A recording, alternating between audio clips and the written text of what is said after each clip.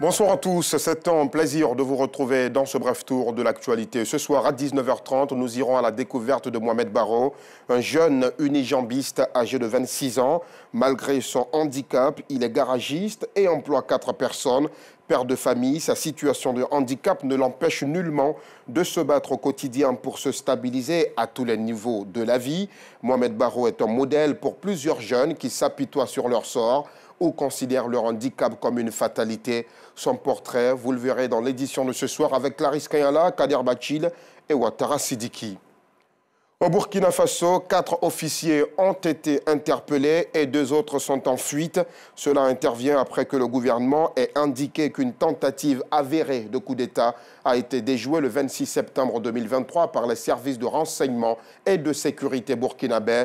Le parquet militaire, sur la base de dénonciations dignes de foi, faisant état d'un complot contre la sûreté de l'État en cours et mettant en cause des officiers, a immédiatement ouvert une enquête circonstanciée pour élucider les faits dénoncés, a annoncé le magistrat militaire Ahmed Ferdinand Suntoura dans un communiqué.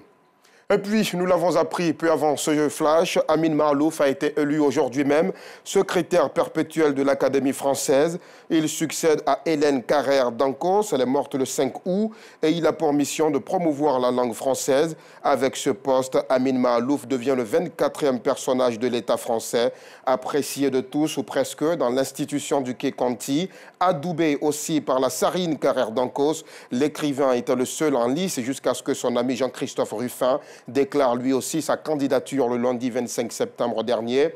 Il restait cependant le grand favori du scrutin qu'il a remporté par 24 voix contre, contre 8. Et pour finir, la dernière offensive victorieuse de l'Azerbaïdjan dans la République séparatiste autoproclamée du Nagorno-Karabakh semble avoir porté ses fruits.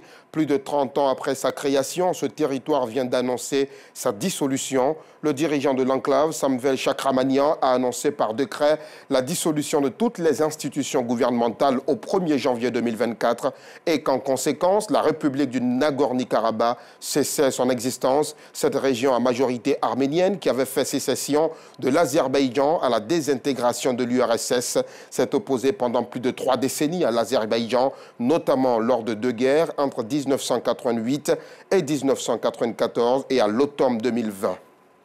Et c'est sur cette dernière information que nous, nous mettons un terme à ce bref tour de l'actualité. Merci de l'avoir suivi. Retrouvons-nous à 19h30 si Dieu le veut.